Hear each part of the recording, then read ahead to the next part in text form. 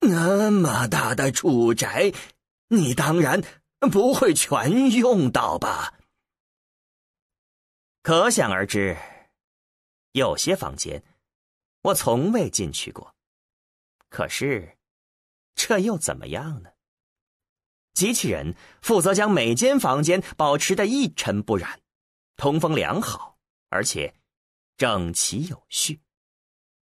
好了，出来吧。他们并没有循着原路，而是从另一扇门走了出来，随即发现置身于另一道回廊之中，在他们面前有一辆停在轨道上的小型的敞篷地面车。班的示意他们上去，于是大家一个接一个的爬进车里。车内空间有限，不够容纳四个人，再加上一个机器人的。还好，佩洛拉特与包奇斯挤在一起，为崔维子腾出位子。班的坐在前面，一副轻松自在的模样。那个机器人则坐在他的身边。车子开始前进。班的除了偶尔做些流畅的手部动作，看不出他还在进行什么操控。事实上，这是个车型机器人。班的说，神情相当的冷淡。他们以稳重的速度前进，每当来到一扇门前，门就会自动打开，在他们通过之后又立即关上。因此，车速完全不必改变。每个房间的装饰都大不相同，好像机器人曾奉命随机设计出各种组合。他们前方的回廊相当的幽暗，身后的情形也完全相同。然而，无论他们真正的置身何处，仿佛始终处于没有热度的阳光下。每一扇门打开的时候，室内也都会转趋明亮，而班的每次都缓慢而优雅的挥着手。这趟旅程似乎没有尽头，他们不时会发觉车子又转了一个弯儿代表这座地底宅邸显然向两个维度延伸。不是三个维度。当他们沿着一个浅坡稳稳的下滑时，崔维子心中这么想。不论他们经过何处，都能看到许多的机器人，十几个、几十个、几百个，都在从容不迫的工作。但崔卫子很难猜出那些工作的性质。此时，他们又通过一扇门，来到一间很大的房间，里面有一排排的机器人，全都静静的趴在办公桌前。裴洛拉特问道：“他们在做什么呀，班的？在做记录，整理统计记录。”财务账目，以及诸如此类的事，我非常高兴的可以宣称，自己不必为这些事情烦恼。这并不是一块闲置的属地，大约四分之一的耕地辟为果园，另外还有十分之一用来种植谷物。但真正令我骄傲的，还是果园。我们培育这个世界上品质最佳的水果，而且种类也最多。班德桃就是索拉利桃，其他索拉利人几乎都懒得种桃子。此外，我们有二十七种不同的苹果，以及以及那些机器人可以给你详尽的资料。你怎么处理？这么多的水果呢，你自己不可能全部吃掉吧？我做梦也不会那么想。我并不特别喜欢吃水果。它们是用来和其他属地做交易的。交易些什么呢？主要是矿物。我的属地上没有值得一提的矿物。此外，我也换取维持健康的生态平衡所需的一切。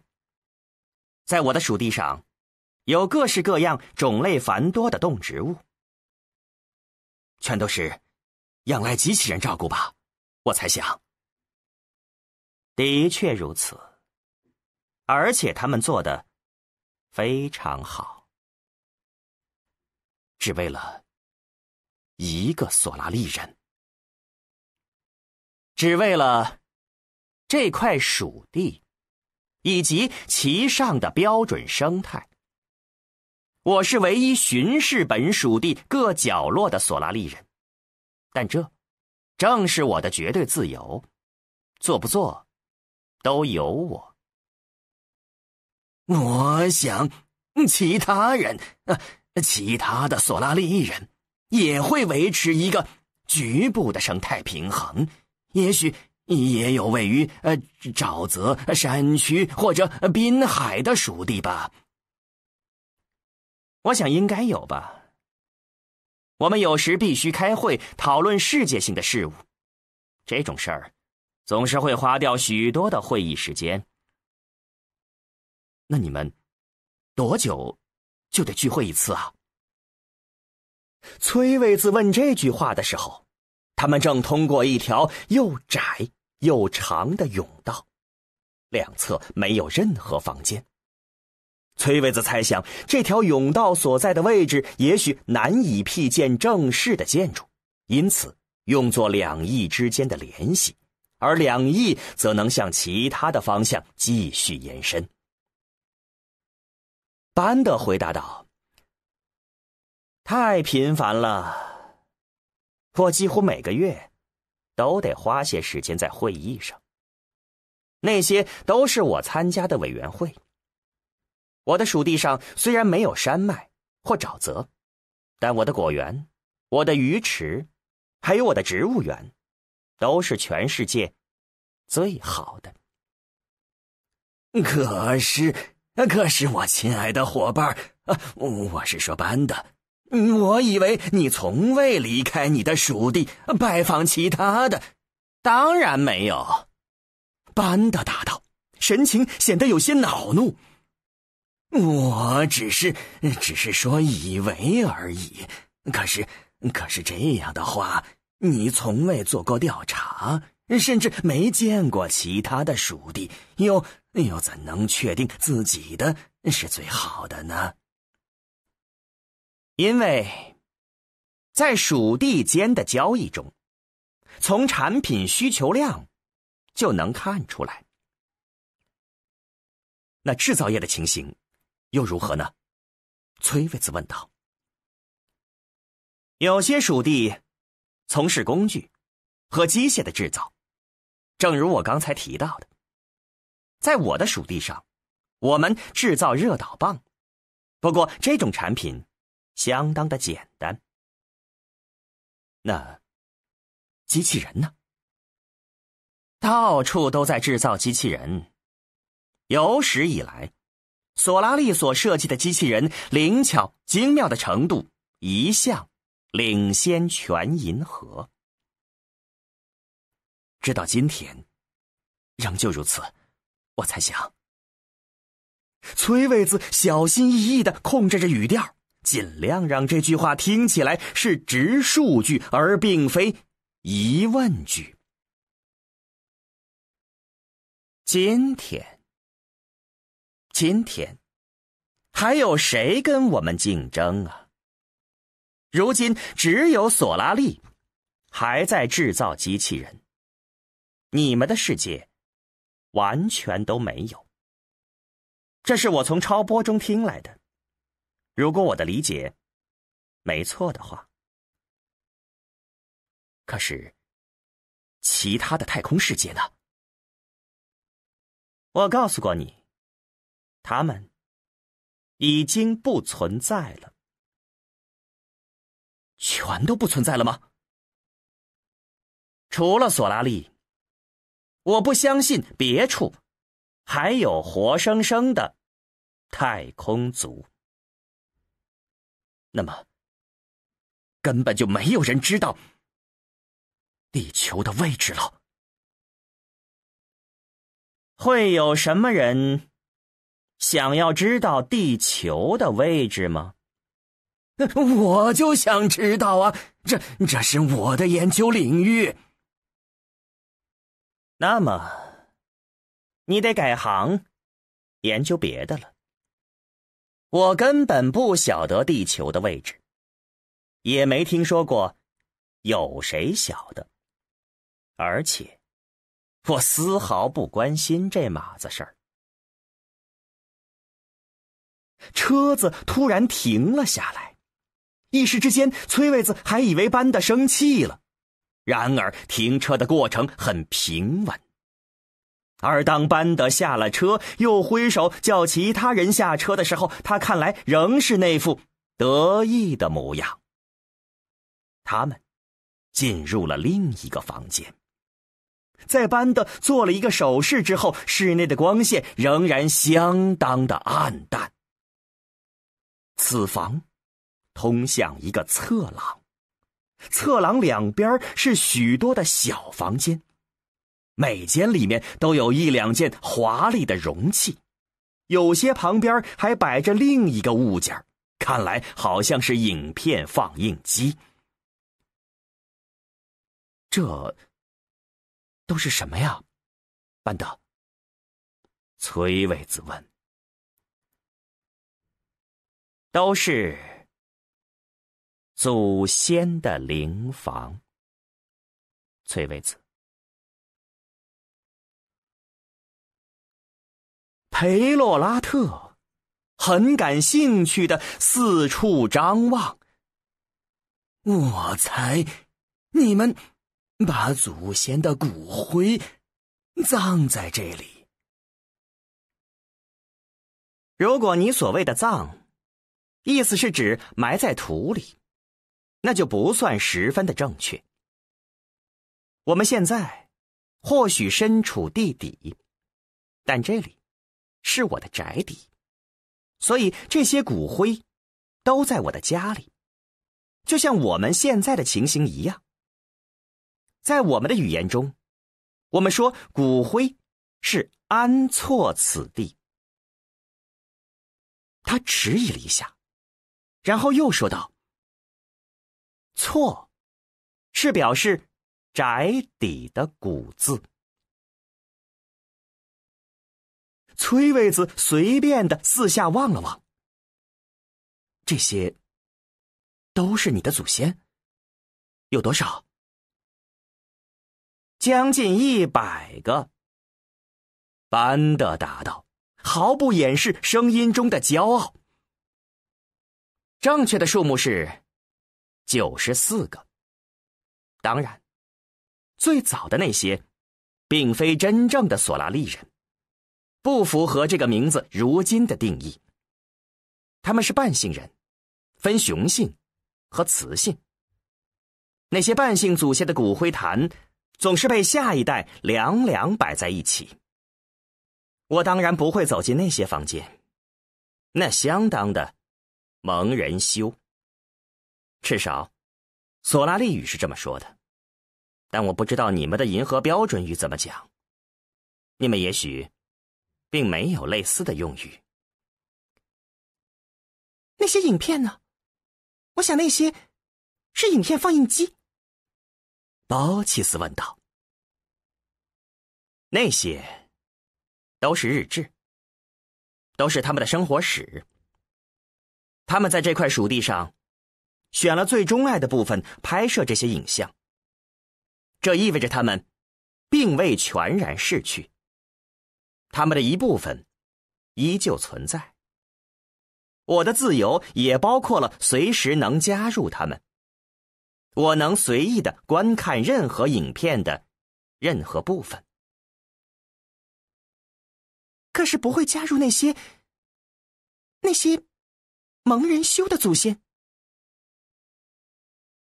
班的将目光移到别处。不会，他坦诚不会。然而，我们都有这么一部分的祖先，这是我们共同的不幸。共同的，那么，其他索拉利人也有这种灵房？崔维兹问。哦，是的，我们全都有。不过，要数我的最好、最精致，也保存的最妥当。那你是不是已经把自己的灵房准备好了？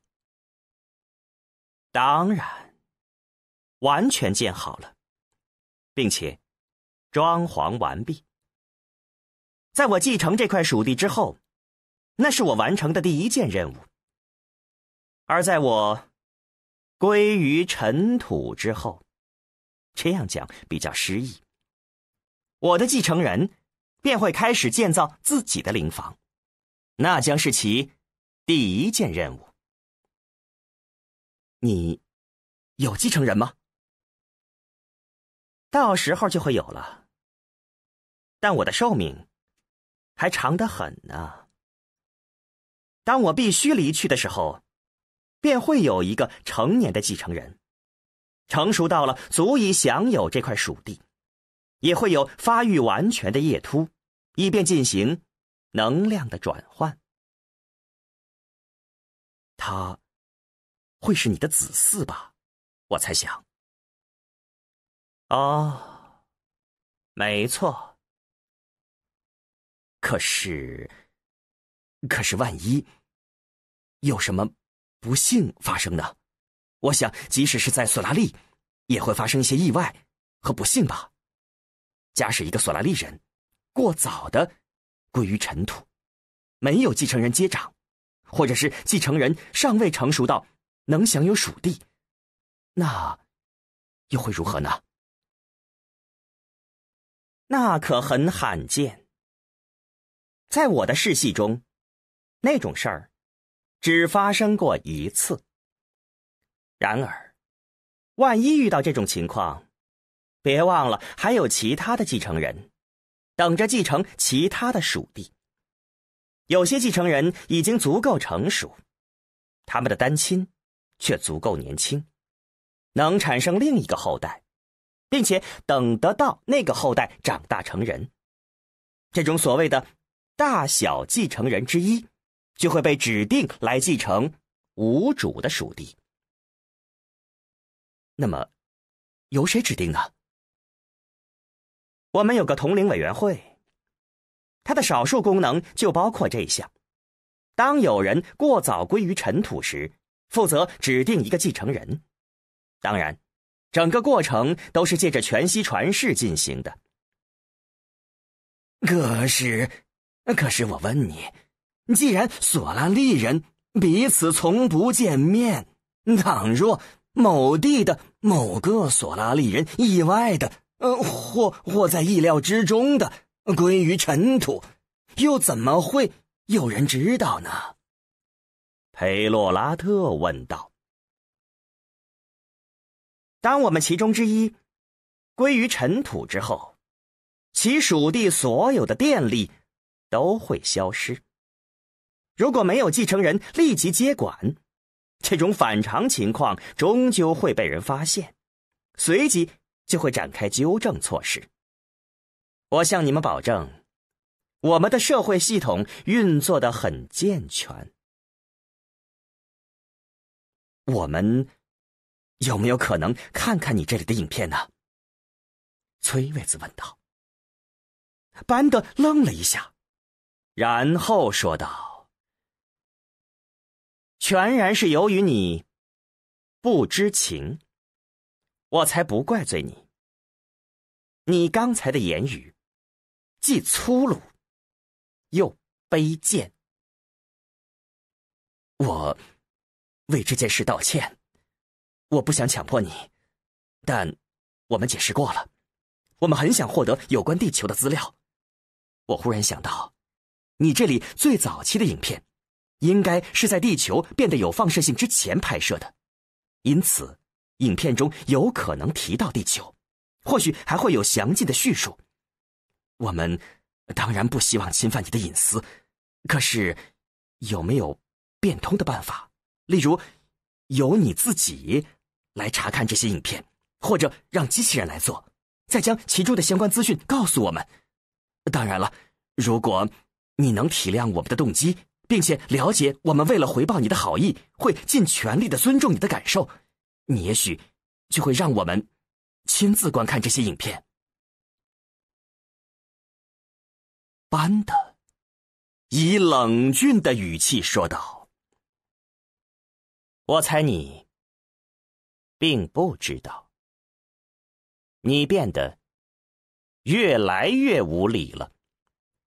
然而，我们可以立刻结束这个话题，因为我可以告诉你，在我的早期半性祖先旁边，根本没有任何影片。没有吗？崔卫子的失望，百分之百的真实。这些影片曾经存在过，但即使是你们，也该想象得到，里面会是什么内容。两个半性人彼此表示兴趣，甚至嗯，互相作用。半性人所有的影片，自然。在许多代以前就被销毁了。那其他索拉利人所收藏的呢？全都销毁了。你能确定吗？不毁掉那些东西，就是疯子。也许有些索拉利人。真的疯了呢，或者多愁善感，或者过于健忘。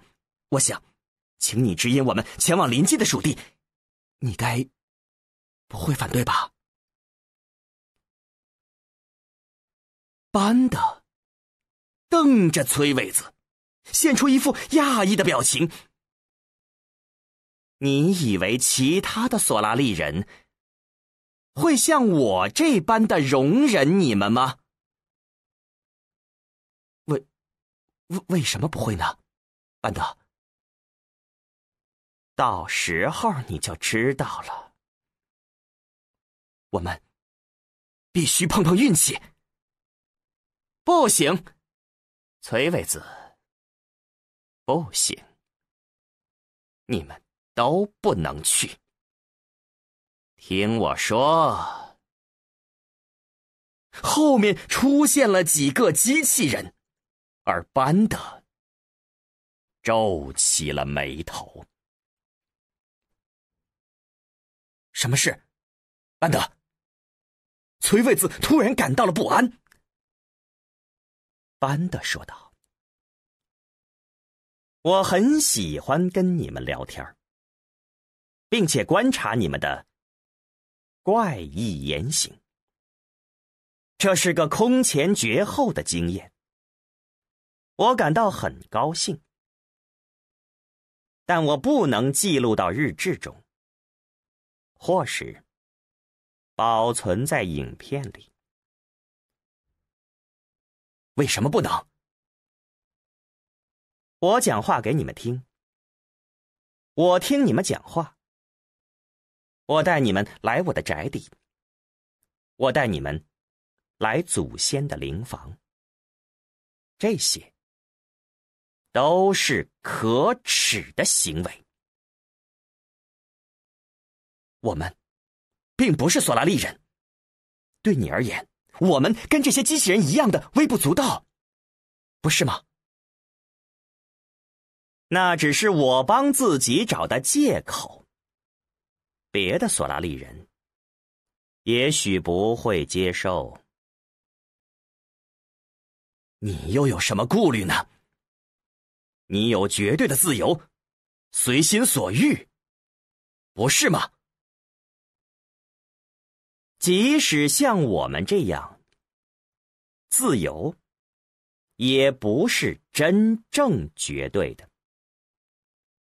假使我是这颗行星上唯一的索拉利人，我就有绝对的自由，做些甚至更可耻的事儿。可是，这个世界上还有其他的索拉利人，因此。虽然我们和理想中的自由极为的接近，却未曾真正的达到。这颗行星上有一千两百个索拉利人，若是让他们知道我做了些什么，他们全都会瞧不起我的。没有理由要让他们知道啊！那倒是实话。你们一抵达此地，我就想到了，在跟你们寻开心的时候，我始终把这件事儿放在心上，那就是一定不能让其他的索拉利人知道。如果，如果你的意思是……你担心我们去别的属地寻找地球资料将会给你带来麻烦，嗯，这个嘛，我们自然不会提到先拜访过你呀，这点我们心里有数。班的摇了摇头，我已经冒了太多的风险，我自己当然不会提到这件事儿。我的机器人也都不会提到，他们甚至会奉命不得记住这件事。你们的太空船将被带到地底，我要好好的研究它，看看能提供我们什么。慢着，你先检查我们的太空艇？你以为我们能在这儿等多久？那是不可能的事。”崔卫子说道。绝非不可能，因为你不会再有表达意见的机会。我很遗憾，我也想跟你们多聊一会儿，讨论许多其他的事。可是你们也看得出来，情况变得越来越危险了。不。不，绝对没有！崔卫子尽力的强调。哦，绝对有的，小小半杏仁。恐怕我该采取行动的时候到了。那会是我的祖先在第一时间所采取的行动。我必须。将你们杀掉，三个，通通杀掉。